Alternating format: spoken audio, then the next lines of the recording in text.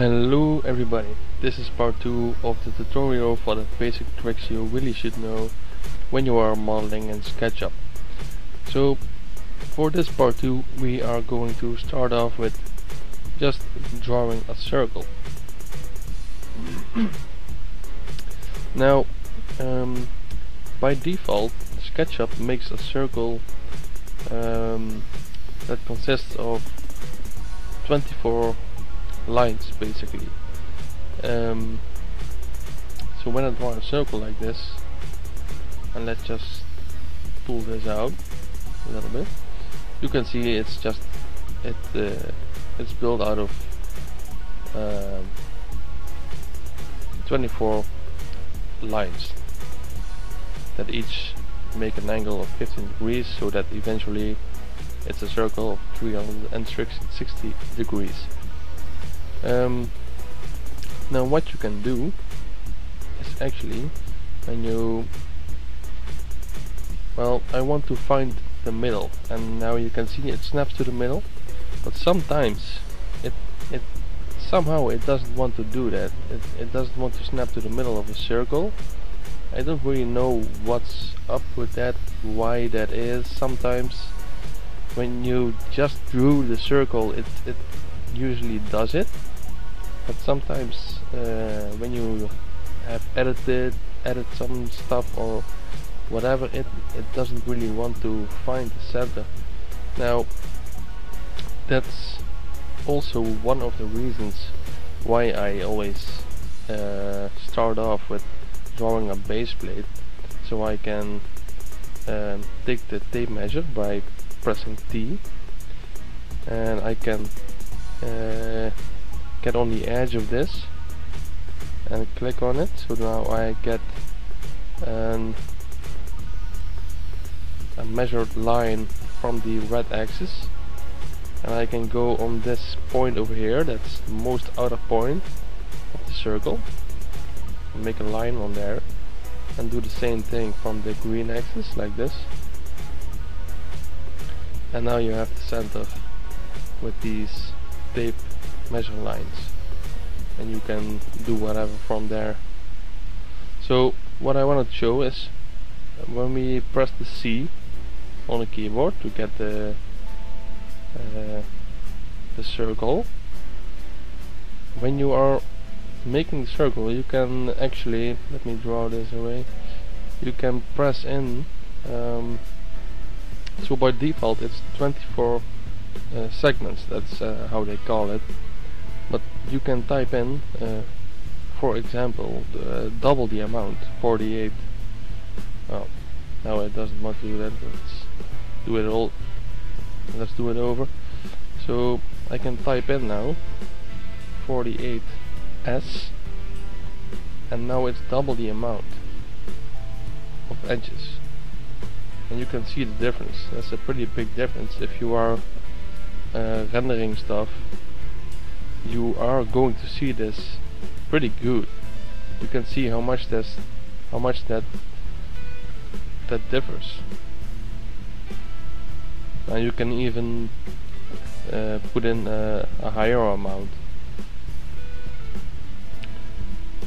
Like uh, whatever uh, 120 120 uh, segments.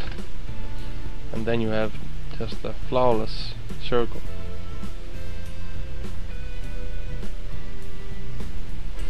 Now also, um, what I wanted to tell you is when you go to view, you can check on hidden geometry. And now you can see really good the, the difference between the amount of edges the circles are made of and also what uh, what um, allows you to do this when you are in the when you have the hidden uh, geometry on you can uh, treat every separate face um, individually. So now I can just pull out this um,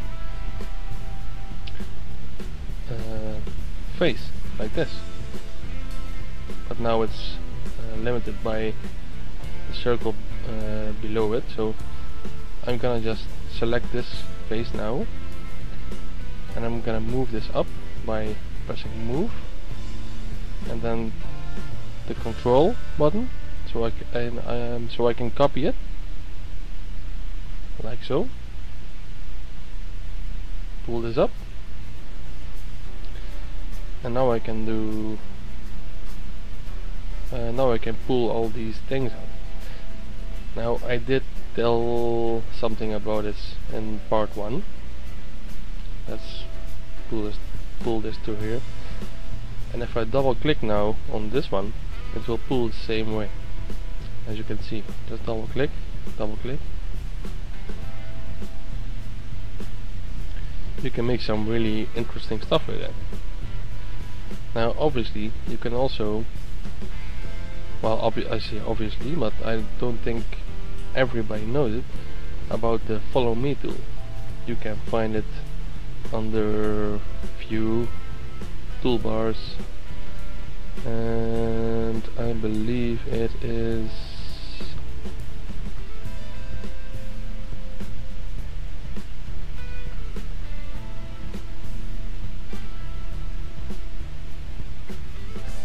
dynamic components. No no.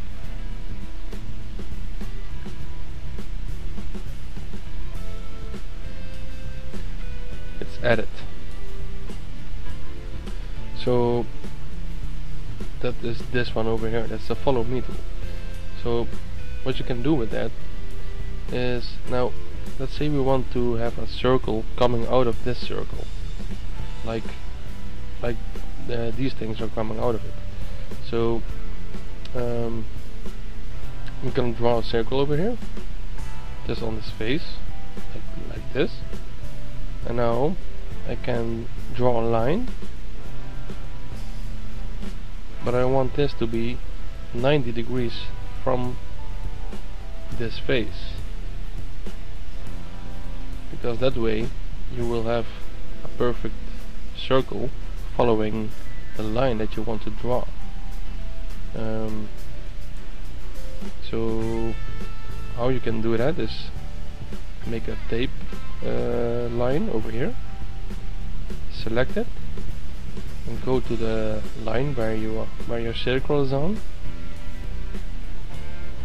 Uh, have the rotate tool by pressing R and go on a flat surface press shift go to the middle of the uh, face where you want to turn from click turn and press in 90 degrees.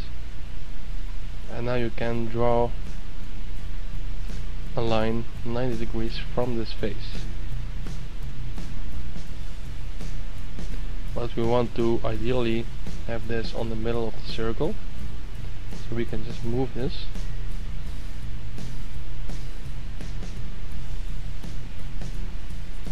to the middle of the circle. And now make a line on here.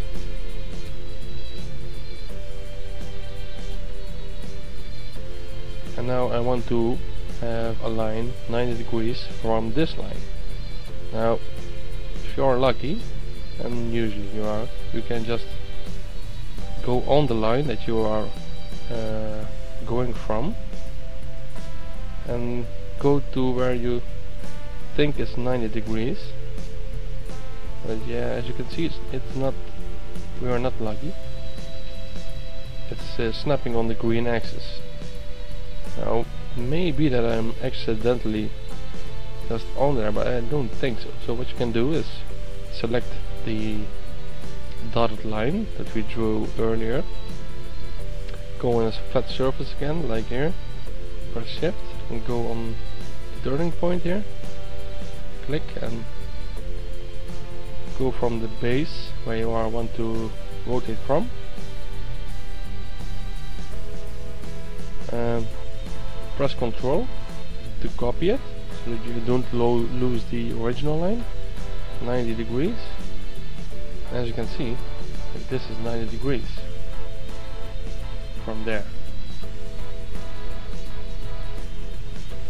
So make a line on there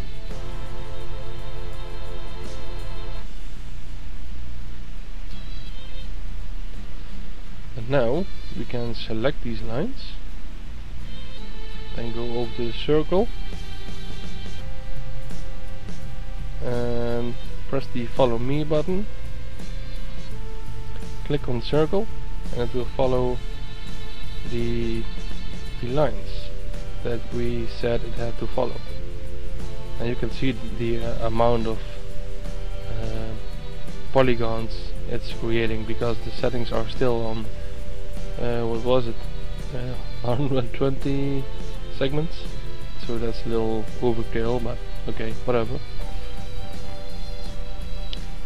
Now we can turn off uh, the hidden geometry so it's not so overwhelmingly liney. Now we can select this. Go to the let's see if we can find the middle of the circle at this point. Yeah we still can. Okay, so let's rotate this. 15 degrees or something whatever. And then you can press in how much copies you want let's say 10 times. So you can just type in 10x and then you have all those copies. Let's delete tape measure lines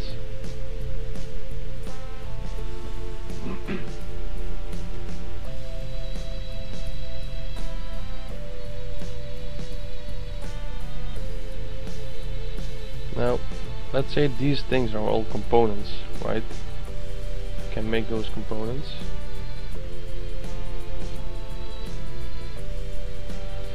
And we want to give them texture.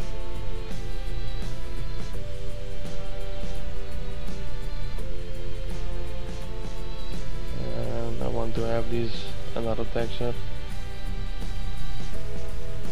Oh no, no, no. Let's make it all the same texture. And make this thing as a whole a component.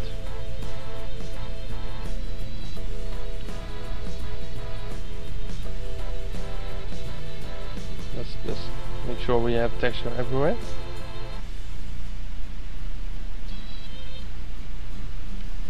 This. Select everything.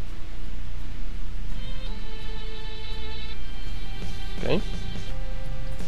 So now this is a component which have some components in it um, it has a certain texture now you can actually change uh, the texture on everything at once if you want to change it manually you have to um, do it by selecting all this and then make it a different texture and, and all these stuff all this stuff. But especially if, if there are a lot of components in there like like these things it's, it's um, it can be a pain in the ass to just all add texture to them separately. You have to double click them and then select everything and add texture and all that. So what you can do is uh, select the texture that is on here. And you can go in the material box to edit. And go to the folder over here. And you do have to have some saved texture in some kind of uh, folder. Like I have over here. So let's say we want to have some carpeting on here. Doesn't make great sense but whatever uh, we can just select it open this. Now everything will get that texture. This can be very helpful if you uh, downloaded uh, a model from the SketchUp uh, warehouse or something and you want to change the texture on that thing um, which usually contains uh, a lot of components that can save you a lot of time doing it like this. Um, so I already showed you one way to use the follow me tool.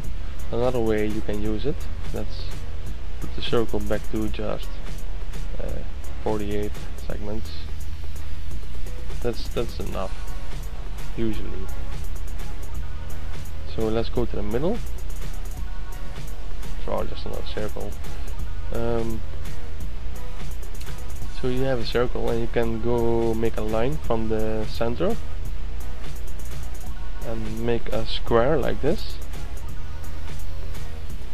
You can go on the blue axis hold shift like I showed in the part 1 video and just let it snap to this face or this point or this point or whatever. And make uh, something like this. Um, and now if you want let's say you want to make a face uh, let's press A for the arc tool so first let's make just a line for the base. Like so. And now press A for the arc. Just to have some curving curving going on. Um another another one. Like so. And then just yeah you get the idea. Uh, you can make even another arc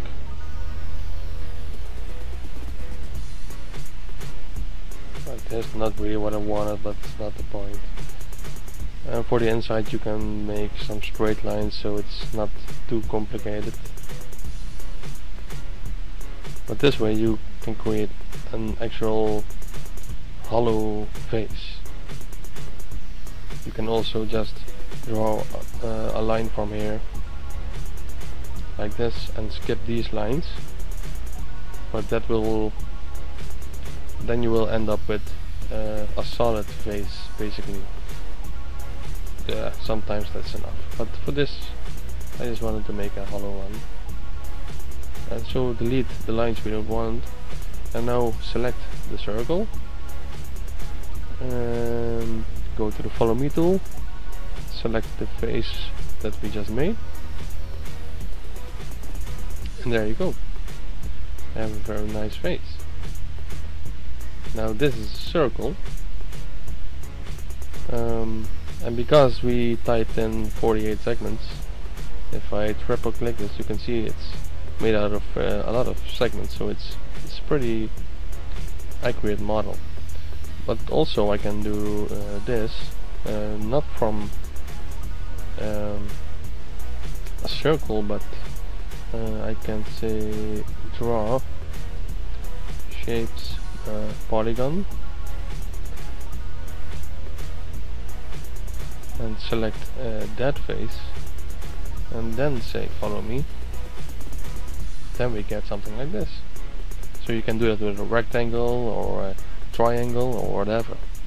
You can make, you make some really interesting stuff like this. As you can see. Uh, also something I wanted to show is let's do it with this base plate. Triple click uh, double click.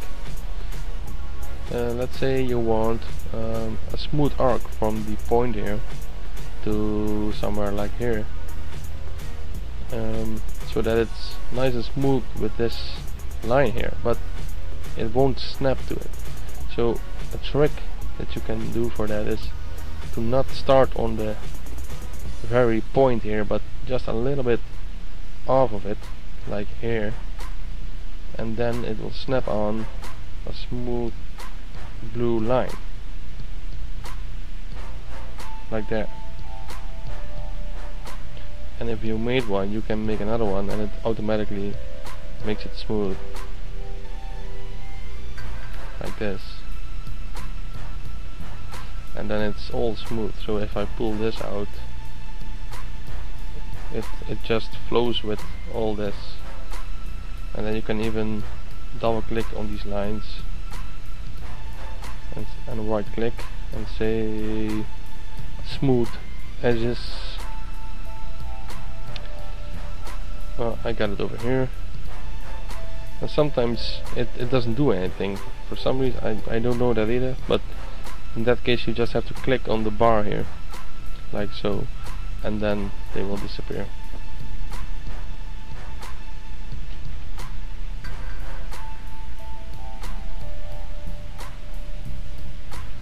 Now also if you want to uh, rotate something so let's say we want to rotate this thing here. Uh, especially because it's a circle. Let's say you want to rotate it uh, from the the green axle. So there's a few ways you can do that and this is also the reason I always draw a base plate so you can do it like this.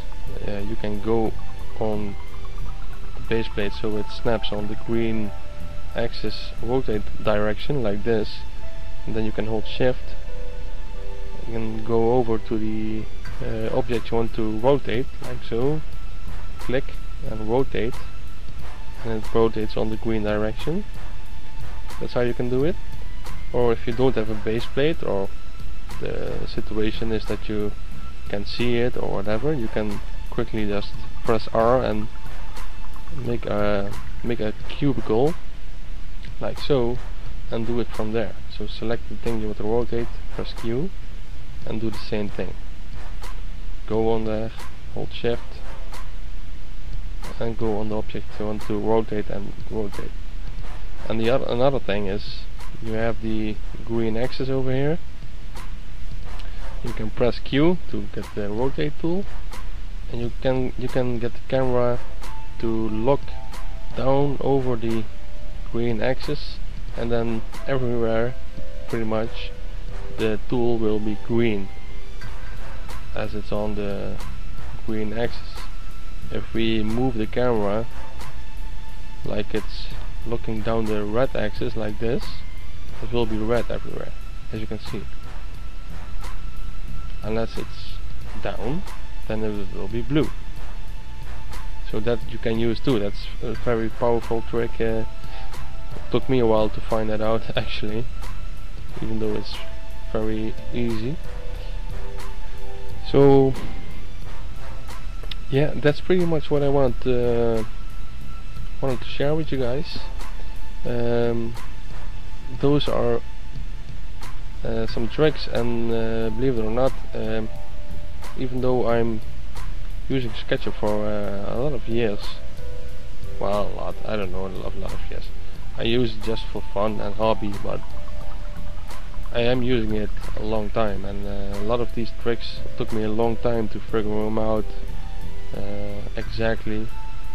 Uh, so yeah I hope you you can use these tips and uh, if you like it just like it. And have a nice day